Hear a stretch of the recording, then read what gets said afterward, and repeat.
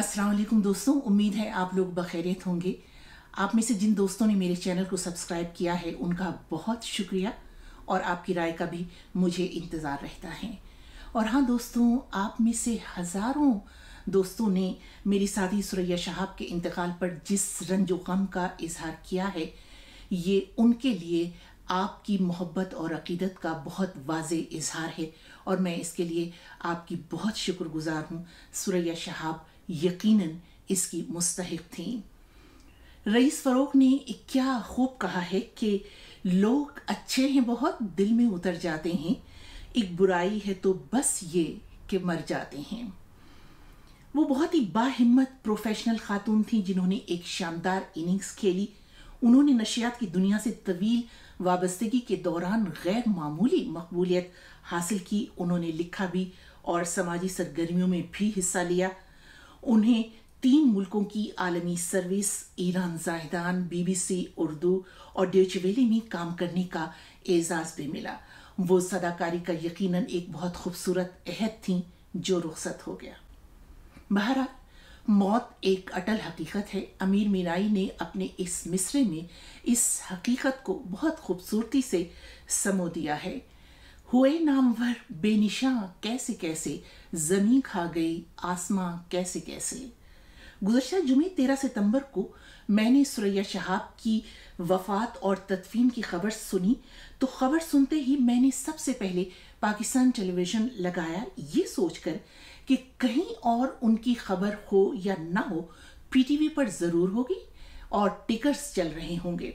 मगर अफसोस, जिस नशियाती इदारे की वो पहचान थी जिन्होंने ना जानी इसी नशियाती इदारे पर खबरें पढ़ते हुए कितने ही लोगों की इंतकाल की खबरें पढ़ी होंगी, मगर खुद उनके इंतकाल की खबर पीटीवी पर कहीं नज़र नहीं आई।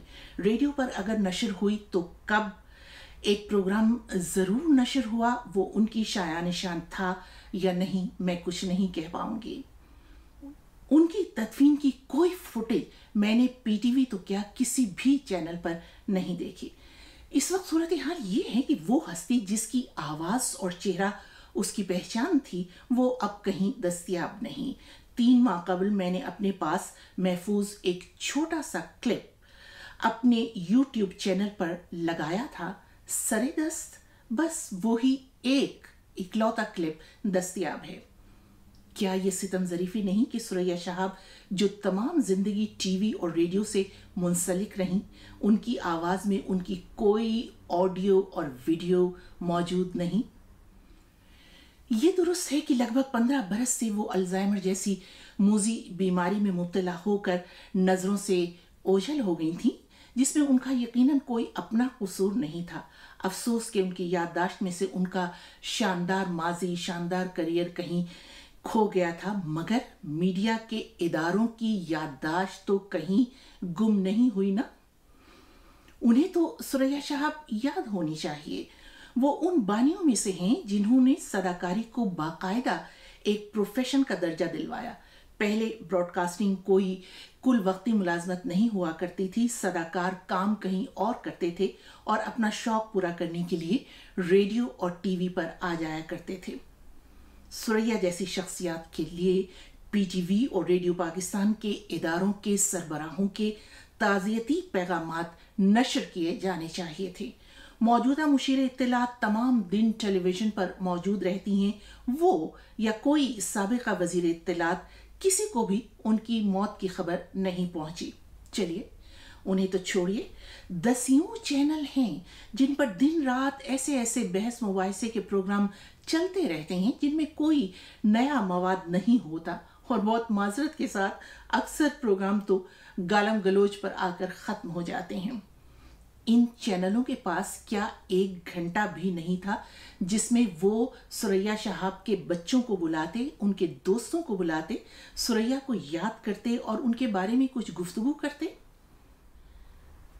नशियात के ऐवानों और इसकी महफिलों से ऐसी खूबसूरत रिवायात अगर ख़त्म हो गई तो यकीन जानिए, सिर्फ़ शोर रह जाएगा। सुरैया शहाब जैसी ब्रॉडकास्टर के लिए पीटीवी और रेडियो पाकिस्तान में खसूसी ताज़ियती रेफरेंस होने चाहिए, जहाँ उनके तवील नशियाती सफ़र का तफसीली ज़िक्र हो, जिससे नशियात के तालब इल्म इस्तेफादा कर सकें। रेडियो का एक खसूसी शोबा भी है आवाज़ ख़जाना, जिसमें मुल्की सतह पर फ़नून लतीफ़ा से वाबस्ता नामवर शख्सियात की ज़िंदगी और करियर पर उनकी ज़िंदगी में उन्हीं से इंटरव्यूज़ करके महफूज कर लिए जाते हैं, जो बादज मर्ग चलाए जाते हैं। सुरैया शहाब की मुकम्मल ज़िंदगी पर मबनी इंटरव्यू उनकी अपनी आवाज़ में महफूज होना चाहिए था। पाकिस्तान टेलीविज़न ने अपने सीनियर न्यूज़ एंकर्स की तस्वीर तो आवेजा कर रखी हैं, मगर क्या अच्छा होता कि उनके बारे में वहाँ मालूम दर्ज होती और उनकी कुछ रिकॉर्डिंग्स भी मौजूद होती। ऐसी मुस्तनद मालूम मौजूद ना होने की वजह से अब जिसका जो दिल चाह रहा है वो लिख रहा है और ज़ाहिर है कह रहा होगा। बहरहाल सरकारी सतह पर और नशरियात की दुनिया में इस बेहिसी के मुजाहरे के बावजूद मुझे यकीन है कि नशियात की तारीख में उनका नाम बहुत नुमाया तौर पर और सुनहरी हरूफ में लिखा जाएगा। वो वो आवाज़ की दुनिया के अपने दोस्तों के दिलों और मोहब्बतों में ज़िंदा रहेंगी। मोहब्बत जिसे बख्श दे जिंदगानी नहीं मौत पर ख़त्म उसकी कहानी।